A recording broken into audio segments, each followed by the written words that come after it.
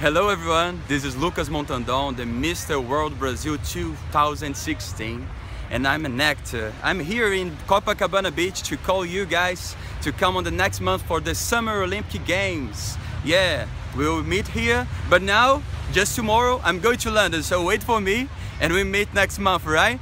Bye bye!